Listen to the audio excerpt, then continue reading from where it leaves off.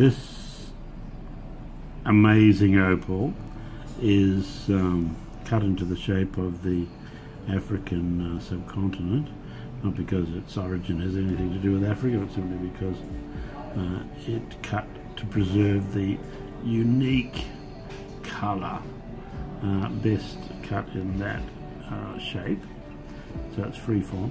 This opal is a supreme example of the very best opal that comes out of the ground. Uh, of course, it's Australian opal. 97% uh, of the world's opal comes from Australia. And all of this kind of opal comes from Australia. 100% of this sort of opal is found in Australia, in Lightning Ridge. And it is extremely, extremely valuable. It's valued up at half a million dollars, but really it's worth a lot more than that. Uh, when I consider that a Superman comic sold for $3 million recently, uh, that was printed in 1937, and that there's another 30 or so of them available, known copies. What's this really worth if Superman comics uh, from 1937 uh, valued at $3 million? What on earth is this worth? Uh, it's worth whatever, whatever. It's, it's just, it's really priceless. But we put half a million dollars on it. It's a priceless opal.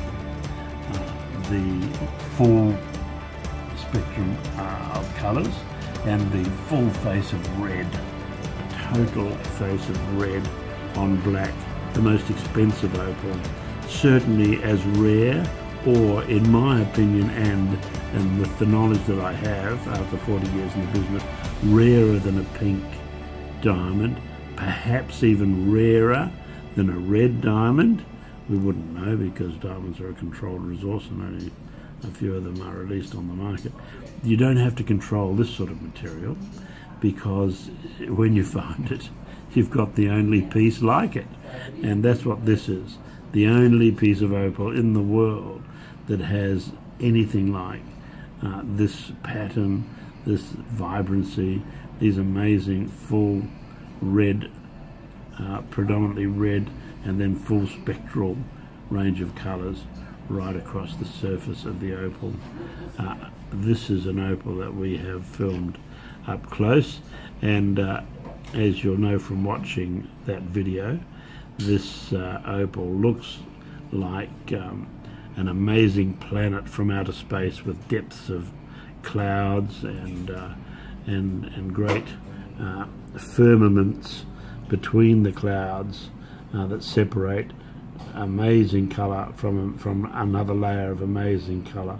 This is truly truly a unique opal which sincerely will be missed when it's sold because uh, in the life of an opal cutter and an opal dealer we see one or two that have these qualities and that are this, that are this spectacular.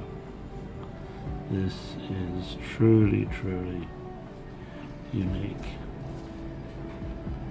As unique as you, as you are. As unique as I am, but far more beautiful than I am.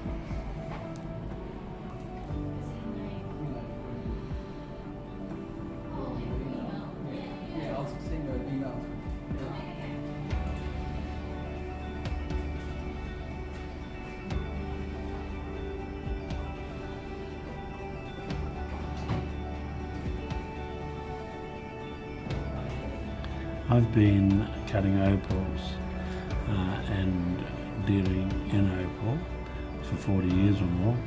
And in those four decades uh, I have seen less than four of these or similar opals, less than four of these or similar opals in that time. So perhaps one every 10 years uh, has been screwed only one